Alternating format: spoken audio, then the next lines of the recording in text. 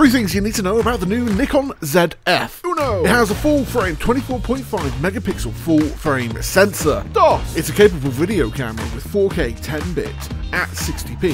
Unfortunately, a 1.5 times crop factor. Tres. It's designed to look very similar to the Nikon FM2, and it's a beauty at that.